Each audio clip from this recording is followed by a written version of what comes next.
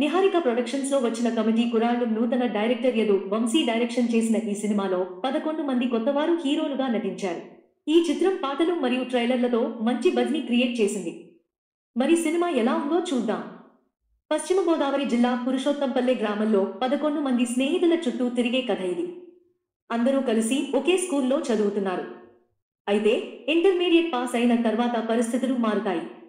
కులం range base చేసుకుని వారి మధ్య గొడవలు వస్తాయి. ప్రతి పన్నెండు సంవత్సరాలకు ఊరిలో జాతర జరుగుతుంది మరియు వారి జీవితంలో ఇంపార్టెంట్ పార్ట్ అవుతుంది. వారి బాండింగ్ను మార్చడంలో జాతర ఎలా ఇన్ఫ్లుయెన్స్ చేసింది అనేది సినిమా మెయిన్ పాయింట్. ఈ సినిమాకి సరైన నటీనటుల సెలక్షన్ జరిగింది. పదకొండు మంది స్నేహితుల్లో ప్రతి ఒక్కరూ ఇంప్రెసివ్ వర్క్ చేశారు. ముఖ్యంగా సందీప్ సరోజ్ త్రినాథ్ వర్మ ఈశ్వర్ రాచరాజు యశ్వంత్ పెండ్యాల ప్రసాద్ బెహ్రా తమ యాక్టింగ్తో అట్రాక్షన్ అయ్యారు. సాయి కుమార్ తన పాత్రలో రొటీన్గా నటించాడు. గోపరాజు రమణ డీసెంట్గా ఉన్నా అతని పాత్ర ఎలాంటి ఇంపాక్ట్ చూపలేదు. మిగిలిన వారు తమ పాత్రల ప్రకారం యాక్ట్ చేశారు. Writer and director Yadu Vamsi తన రియల్ లైఫ్ ఇన్సిడెంట్స్ని బేస్ చేసుకుని స్టోరీ రెడీ చేశాడు.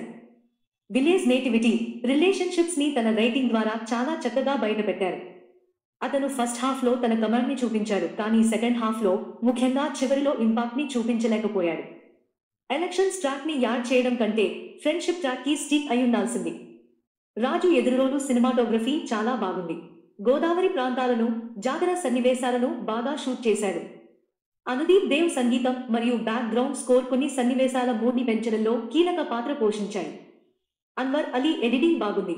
లో బడ్జెట్ సినిమాకి సరిపోయేలా ప్రొడక్షన్ వాల్యూస్ ఉన్నాయి. తెలుగు సినిమాలో ఇటువంటి స్క్రిప్ట్లు మనకు చాలా రేర్గా కనిపిస్తాయి. దర్శకుడు యదు వంశీ సినిమా మొదటి అరగంటలో మనల్ని నాస్టాల్జిక్ రైడ్కి తీసుకెళతాడు. నైన్టీస్ కిడ్ స్టోరీతో బాగా కనెక్ట్ అవుతారు.